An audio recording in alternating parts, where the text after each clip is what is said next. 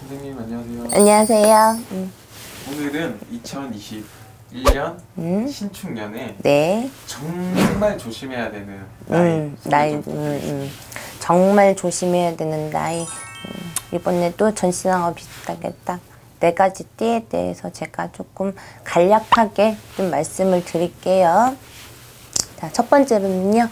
28살이 되시는 개유생의 닭띠분들이에요. 마지막 나가는 삼재이기도 하지만 이분들이 작년에 20년도에 무언가의 변화 변동이 많았고 결정할 일들이 있었어요. 근데 그 일들이 자리 자정이 하나도 안 돼 있어서 그 자리로 딱 묶여버리는 수정이 들어와요. 그러다 보니까 감정으로서 마음의 병을 많이 얻거나 내 자리가 이직이 되거나 회사에서 퇴직을 하고서서 내 자리를 잡지 못하는 형국에 들어가 있는 갇히는 수준에 들어가 있는 어, 형국이 많고 이분들은 인간 때문에 인간의 구설 때문에 주위에 가족이라든지 친구라든지 어, 남자친구 여자친구라든지 이런 부분에 대해서 마음의 고통을 끝까지 받으라 하는 어? 사람의 도움을 받지 못하는 그런 형국에 들어와 있기 때문에 이분들은 21년도 까지는 신축년까지는 음, 나가는 삼재에 대해서 조심을 많이 하셔야 되고 이런 구설, 어, 몸수, 어, 그다음에 어, 움직임들에 다 막힘이 있으니까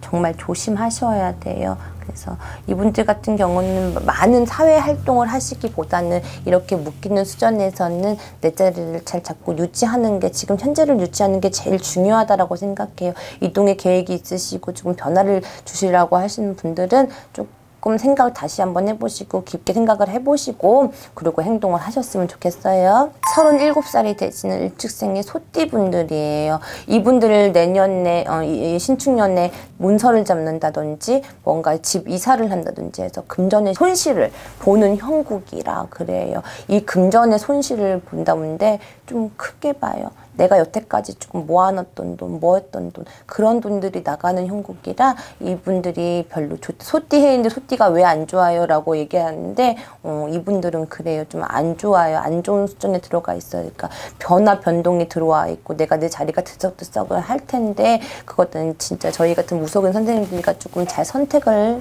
생각을 하셔서 어, 얘기를 좀 들어보시고 그런 결정을 좀 내셨으면 하는 바람이 있어요. 그래서 자리가 완전 떠서 그 자리를 잘못 잡으면 금전의 손실이 굉장히 클 수 있다는 거.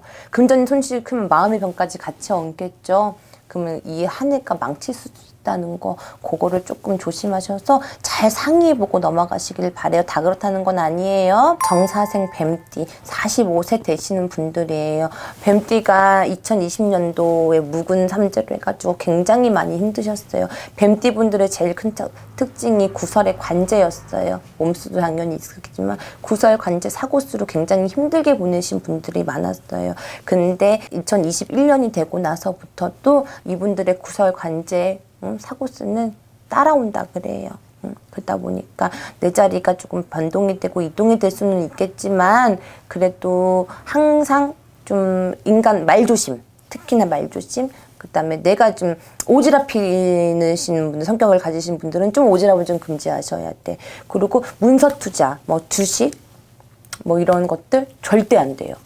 이분들은 안 돼요. 다 같이 나가버려 나가는 삼재 같이 싹싹 쓸어서 나가버릴 수가 있어. 그러다 보니까 안 되고 사람 만나는 일 좀 조심하시고 어차피 코로나잖아. 그러니까 어, 만나는 횟수 좀 줄이시고 집안에서 내가 좀 돌을 닦는 느낌으로 조금 계셔야 돼요. 그렇게 해서 넘어가시면 내년 하반기로는 이분들이 뱀띠 분들이 괜찮다라고 그래요. 상반기 때까지만 해도 좀 조심하세요. 개축생에 49살 되시는 분들 소띠 분들이에요.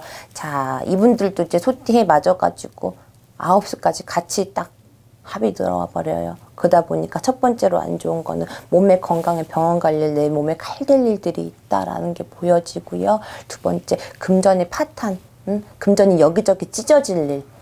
음? 완전히 손실이라기보다는 여기저기 찢어 발겨질 일들이 있다라고 그러고요. 이분들 이별수, 어? 사람과의 이별, 뭐 부부들 간의 뭐 이혼, 음?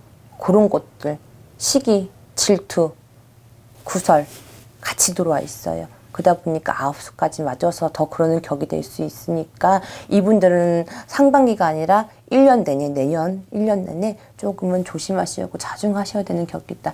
문서의 이동 변동은 하실 수는 있어요. 변동수가 들어왔어. 근데 너무 내 느낌에 내 촉대로 이거 가서 후딱 해버리기보다는 조금 더 신중하신 판단을 요하는 그런 해인 것 같아요. 그래서 장사하시는 분들 갑자기 흐름이 뭐 코로나 때문에 지금도 안 좋지만 어, 내년 수에 들어 2021년 수에 들어가셔서 조금 더 그 막힘이 더 더디게 내가 현실적인 체감은 더 힘들다라고 느껴지실 수도 있어요. 근데 어, 내년 수에만 잘 넘어가시면 괜찮다고 하니까 어, 끝까지 좀 기운 내시고 어, 그렇게 넘어가시면 될 것 같아요. 그래서 49살 소띠분들은 내년에 투자 같은 건 절대 안 돼요. 하지 마세요. 어, 내년 수에는 몸을 살이라는 형국이야.